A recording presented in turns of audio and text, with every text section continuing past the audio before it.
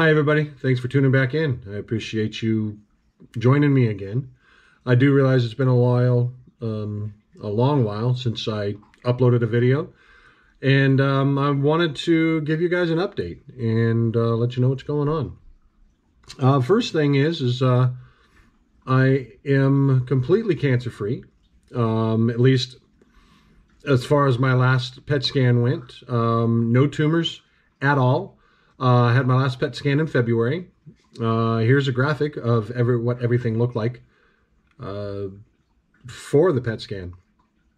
What you're going to see is on the left-hand side is what it looked like in November of 2019 when I was first diagnosed. What what my PET scan looked like. Uh, that big white blob there that you see in the middle, that is my that is my tumor. And um, on the right, same exact area, except now there is no tumor. So things are going great. Um, I really couldn't ask for a, a better prognosis, a better outcome.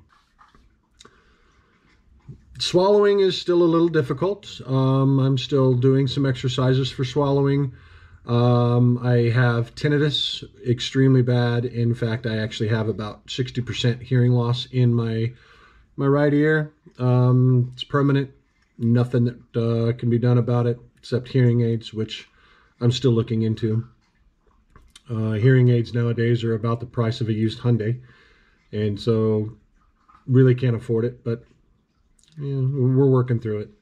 Uh, also, since I've lost a lot of weight, I have a few gallbladder issues that I have to get taken care of. I'm going to be going into probably going into surgery here in the next month or two to get that uh, removed. So, but all in all, I can't complain. Things are going great. Um, second reason for my video is um, April is Head and Neck Cancer Awareness Month. And I have been um, um, I have been posting facts and symptoms and uh, things that you can do to help prevent uh, head and neck cancer and help get an early diagnosis. Um, head and neck cancer uh, accounts for about 4% of all the cancers in the United States. Um, so this year, an estimated 66,000 people, over a little over 66,000 people, will be diagnosed, with a majority of those being men, about 48,000 of those being men.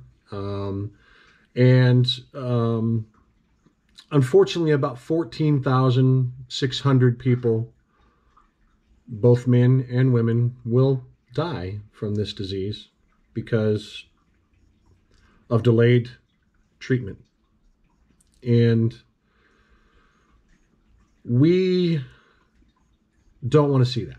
We don't want to see that ever again. Um, as I said, although it does affect both men and women, uh, men are twice as likely to be diagnosed be, to be diagnosed with head and neck cancer at some point in their life. Um, multiple risk factors in, increase your chances of getting head and neck cancer. Uh, of course, uh, smoking um, or using smokeless tobacco uh, increases those risks, uh, as well as heavy alcohol use. And um, in my case, uh, HPV infection, human papilloma virus infection, an infection that probably happened to me when I was in my teens, um, that just now manifested itself uh, in the last year and a half. Um,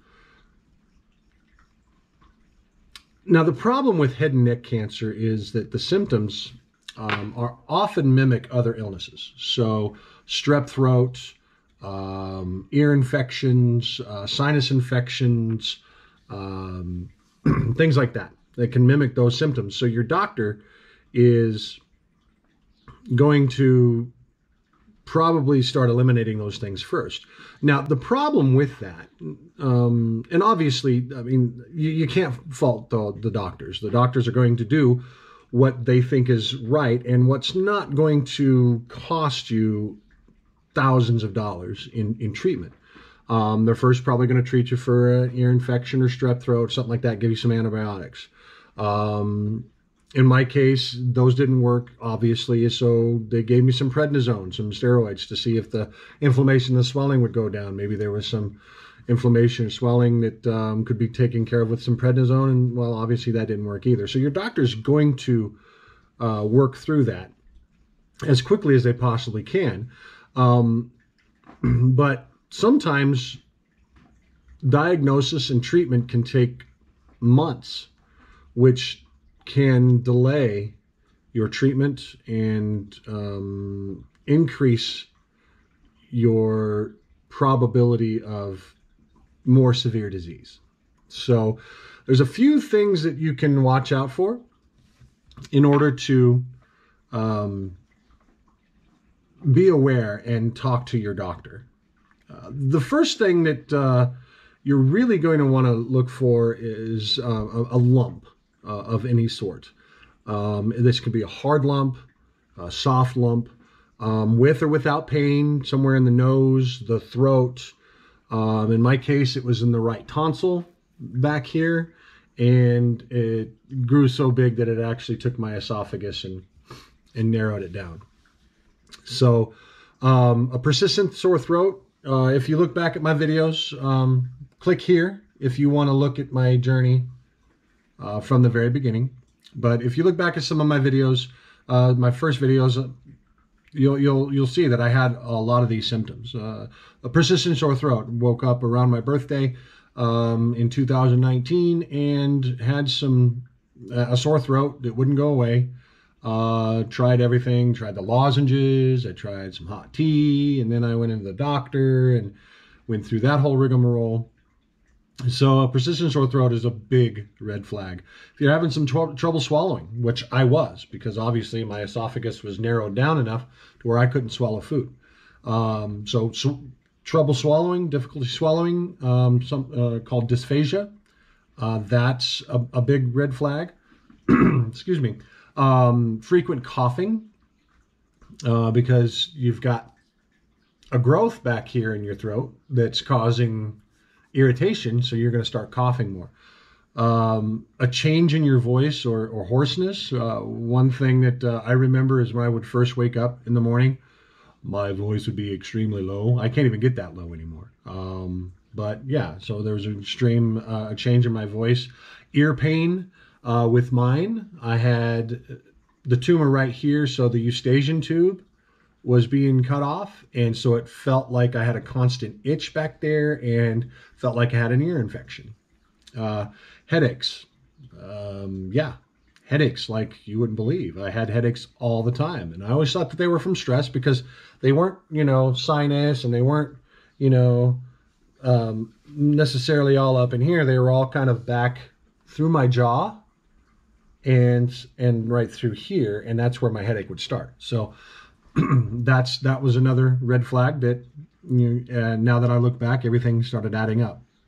I also had some uh, difficulty when I was chewing, where I would chew, I'd be chewing, you know, just, just a, a taco or you know just something a burrito, something that was soft that didn't really require a lot of chewing, but I would notice that I would have jaw fatigue where it would just feel like my jaw was too tired to continue to chew. Strange, very strange. Um, a couple um, big telltale signs are red or white spot- spotches in your mouth, on your tongue, roof of your mouth, under your tongue, in your lip. Um, I'll be going over a self exam uh, that you can do in the next video. Um, some things that you can you can do to kind of be self-aware and bring up any concerns to your doctor. That'll be part of it. Um, if you're having some halitosis, some bad breath that um, is unexplained because you do brush and floss regularly, that could be a, a, a red flag. Um, cons- consistent obstruction or um, congestion in your sinus cavities, not necessarily in the chest, but in your sinus cavities, if you're having a hard time getting all that cleared out, um, not necessarily uh, something to be concerned with by itself, but coupled with all these other symptoms, maybe it's time to talk to your doctor. Uh, if you have some frequent nosebleeds, uh, that was another thing that I had. I had I, my nose would bleed just out of the blue. Um, now I don't know if that was necessarily related to my cancer because my cancer was right here in my tonsil, but um, I'm sure it, it, it didn't help matters any. So some of the things that you need to uh, to look out for. Now in my next video, I am going to show you walk you through a, a self-examination on, um, on how to check yourself for anything unusual. Um, if anything arises that is of concern to you, please make sure you contact your doctor and uh, get uh, the the help that you need. Because again, early diagnosis is going to be your best chance at preventing severe or radical uh, medical intervention. So, looking at the uh, looking at the clock on this video, looks like I'm uh, about 12 minutes in. So I'm going to go ahead and end this video here.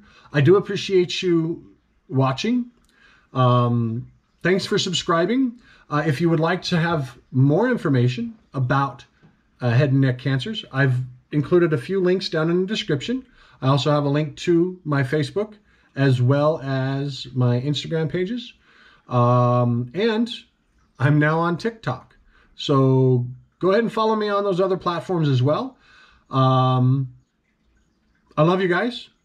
Thanks for watching and keep the prop side up.